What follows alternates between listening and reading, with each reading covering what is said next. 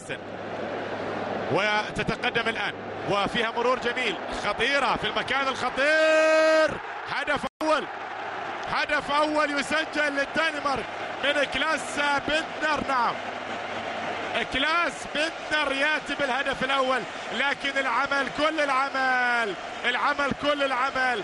كان من نيكي زميلينج لا والله التسلل موجود يا جماعة. التسلل موجود. خطأين كبيرين ومن مساعدي حكم مباراة اليوم في المباراة لكن العمل كان جميلا من زميلينج وبعد ذلك العرضية وبعد ذلك سهولة أن يسجل آه، كلاس بنتنر هدف المباراة الأول.